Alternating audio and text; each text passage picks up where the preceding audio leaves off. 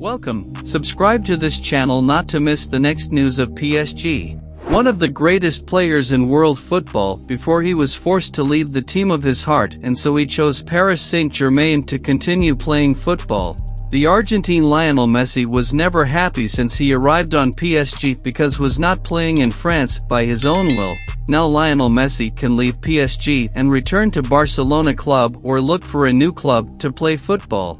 Because according to an Argentine newspaper, the ace Messi would not be willing to stay a few more years in France. And so his contract with the PSG team apparently will not be renewed even with the insistence of the French club. Lionel Messi was the key piece for the Paris Saint-Germain club to start a sequence of victories and also the Argentinian helped in the resumption of good football Brazilian Neymar. Even having helped a lot the glorious PSG team Lionel Messi never felt at home because his home has always been the Barcelona club.